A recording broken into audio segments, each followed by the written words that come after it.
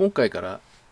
実際に iPad で動く中心性市中水明の名視聴システムを動かしながら説明をしてまいります。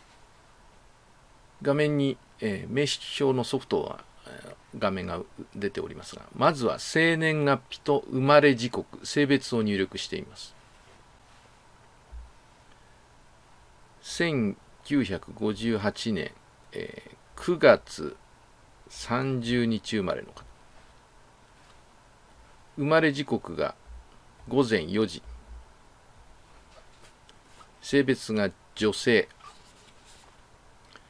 次に、えー、鑑定日を入力します。鑑定日は2021年3月と入れます。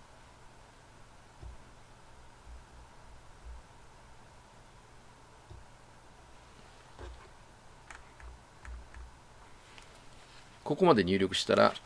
更新ボタンを押してくださいと表示されてますので更新ボタンを押しています。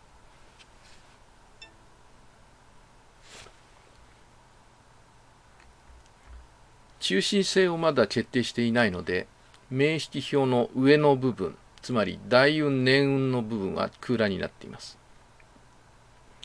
それでは次にお名前を東京花子と入力しています。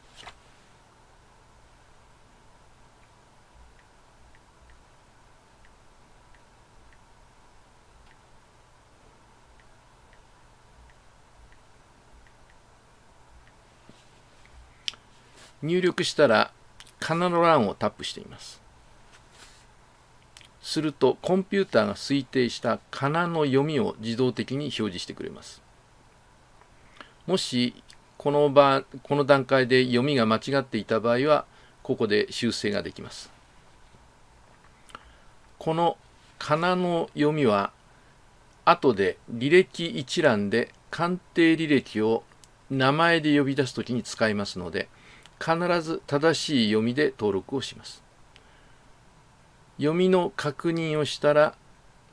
画面右側の新規登録というボタンをタップしています。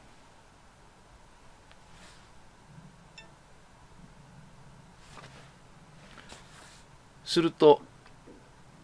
東京花子さんが登録され履歴一覧の一番下に表示されます。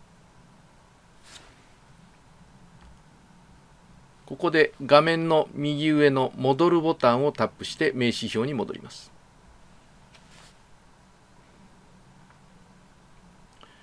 先ほど、えー、タップした新規登録のボタンがグレーになって、えー、代わりに、えー、修正登録ボタンが、え色がついてます。実際もうこれは一回登録されてる画面ですので、え新規のボタンは押せなくて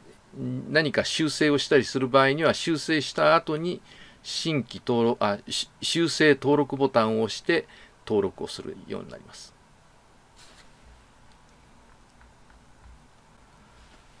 ここまで、えー、中心性は空欄のままですが、えー、別に中心性を決定しなくても名の部分の表示つまり、えー、名というのは先天運ですね先天運の鑑定はできます。また後日説明しますが相性診断も基本的には先天運の名式の内容で相性診断の鑑定を行いますので中心性が決まらない状態でも相性診断の鑑定は可能ですさて中心性の求め方は有料講習を受講していただく必要がありますのでえー、今は事前に、えー、私の方で決定した中心性を入れてみます。東京花子さんの2021年3月現在の中心性は合材になりますので合材のボタンをタップして中心性を入力します。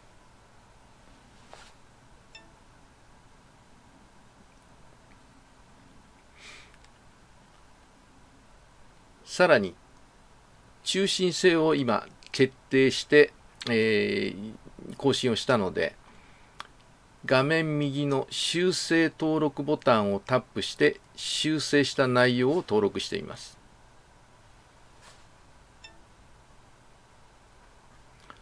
一番下に表示されている、えー、東京花子さんの、えー、中心性の欄にきちんと合材と入って登録がされています。さて、この履歴一覧の画面ですが、一覧表示の右側にある赤いゴミ箱ボタンをタップすることで、その量の履歴を削除することができます。また、後ほど説明しますが、仮名の読みで検索もできます。また、戻るボタンを押して名式表に戻ります。このような手順で、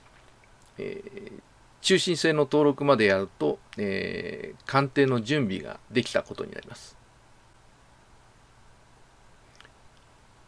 次回は実際に名刺用システムで表示されている各画面の内容を、えー、少しずつ説明させていただきます。今回は以上です。